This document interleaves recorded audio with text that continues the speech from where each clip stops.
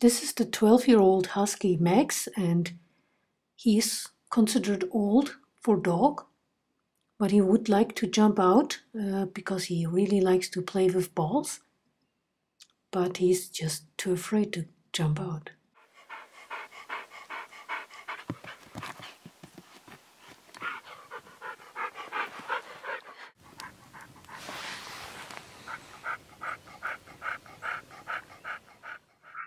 He also snores.